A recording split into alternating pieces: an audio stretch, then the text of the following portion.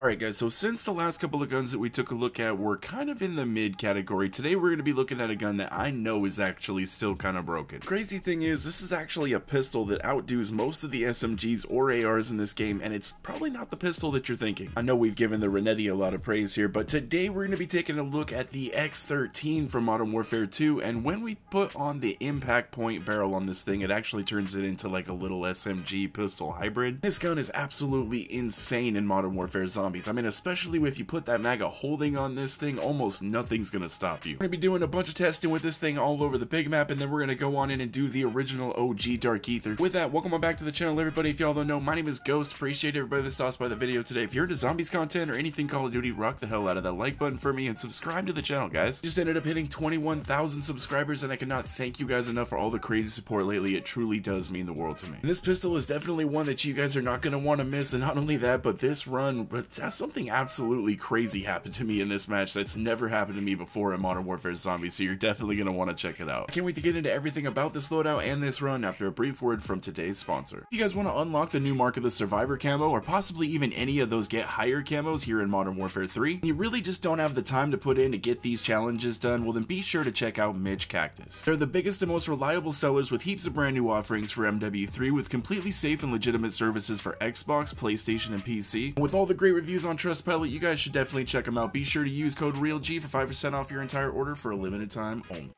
Now this is one of those guns that I can say without a shadow of a doubt absolutely hands down still here in season 5 if you guys haven't tried out this weapon yet you definitely need to. This thing is still acting exactly like it was all the way back in season 3 when this thing was incredibly broken well guess what it is still the same way here in season 5. I don't think this weapon has been touched one bit and you know what even back when this game first launched I was saying that the Modern Warfare 3 weapons kind of reign supreme in this game well I don't really know right now. We got guns like the FR Advancer and then we got this gun the X13, we got guns like the F-Tac Siege, just some of these guns from Modern Warfare 2 are just crazy good. I did notice a few comments of people telling me that the FR Advancer and other guns from Modern Warfare 2 are actually locked for them, and I think what's happening here, I think that these are players that possibly don't own Modern Warfare 2 and they might be playing Modern Warfare 3 off Game Pass or something like that. So I think if you don't own Modern Warfare 2 on your account, you're gonna have the Modern Warfare 2 weapons locked. Now I could be wrong on this, but I do believe what these players are gonna have to do is you're going to have to search for the Modern Warfare 2 guns out of the mystery box or from wall buys. You can even find them inside of loot chests and things like that. Once you find the gun that you own or even just any gun that you don't have unlocked yet, go ahead and uh, take that gun and then exfil with it and that should unlock it for you. Because I do know that at least here in Modern Warfare 3, like if we get a DLC weapon that we don't have unlocked yet and if we find it in Modern Warfare Zombies, if we end up exfilling with it, then that unlocks it for us. So I'm pretty sure it should work the same way. Can we just talk about how fast that this X13 just shredded through those mega abominations? I got to admit, man, that it was actually incredibly fun to use. Absolutely nothing in the red tier zone stand a chance with this thing. If you don't have the Mega Holding yet, it is still going to be pretty damn good. I mean, with the uh, drum on it, you're going to have 50 rounds, and then after you pack a punch, you're going to be sitting on 100 rounds before you have to reload, so it's not too terrible. Especially if you have speed cola, the reload on this thing's pretty damn fast. With the largest drum and Mega Holding, you're going to be sitting on 600 rounds, so I mean, it's not too terrible. It is a decent amount of ammo, but you might find yourself running out from time to time. Like even when I was inside of the Dark Aether here and I did the escort, I was finding myself running out and I was just running around trying to find some, so be wary of that. That is one of the only real big downsides that I have to this pistol. Other than that, I absolutely love this thing. I mean, it just has the power of an AR, it has the movement of a little pistol. Recoil might not be the greatest, but once you get Deadshot, that's not really too much of a problem. I mean, RIP to my mouse and keyboard players. Just so many things to love about this little pistol, and I love returning to it each time that I do. It's just so much fun. It's one of those like guns that you kind of forget about for a while because there is a lot of guns in this game that are actually really good, but I mean, every time that you come back to it, you're like, man, this thing absolutely shreds. I don't know if you guys could tell here in the video, but I was fighting a little bit of lag throughout the entirety of this match. Like there was a little bit of hitching here and there. It wasn't even happening just a little bit. It was happening to me like every five seconds. It actually just increasingly got worse. Once we got into the Outlast contract, you guys are going to see it actually got really bad. Almost to the point that I thought that my game was actually going to crash. Let me know down in the comment section if you guys have been been experiencing this. I mean, for me, from my personal experience, usually if my game is feeling like laggy or buggy or whatever, if I come inside of one of the Dark Aethers, especially if I'm playing solo, that usually kind of levels it out and fixes it a little bit. Uh, yeah, that wasn't really the case this time around. For some reason, it was actually just increasingly getting worse as the match went on. Whether for a good while in Season 4 we were having some really bad lag issues, but I thought they kind of fixed that for the most part. I mean, for the majority of the part, my matches have been pretty good. For some reason today, I've had these two matches, two matches that were pretty damn laggy all the way through. It's a possibility that it could be my internet or something in the area, but if I really had to bet on it, I would say it's the Call of Duty servers. Once I got to the end of this Dark Aether run, the lag was actually so bad I wasn't even gonna chance running around and getting all the wonder weapons, plus my back was completely full of something and you guys are gonna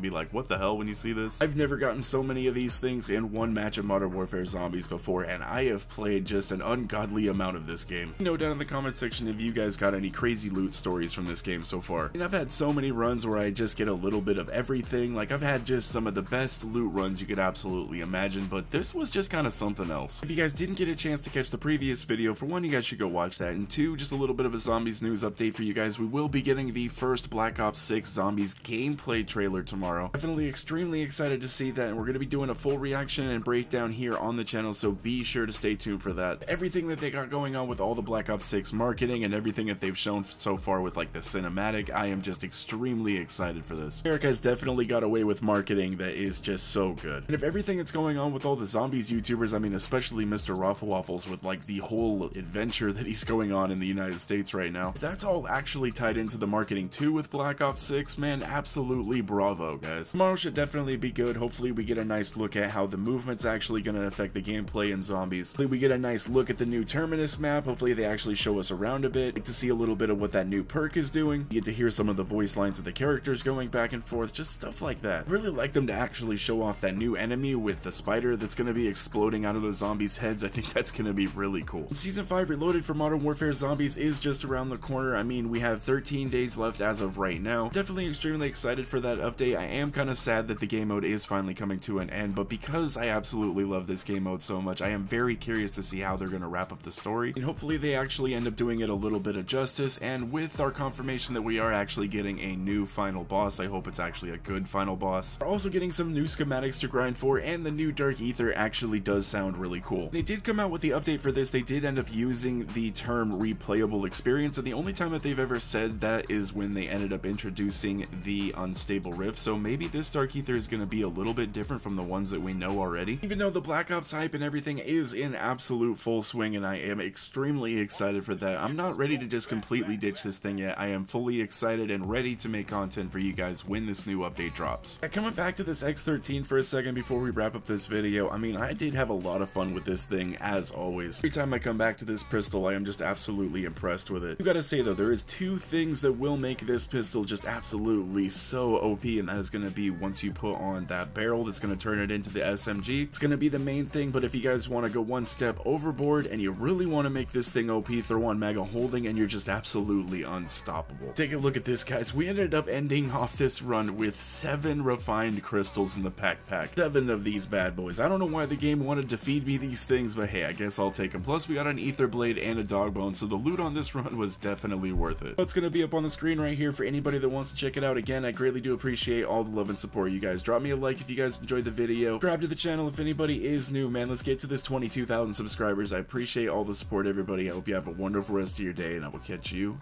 in the next one.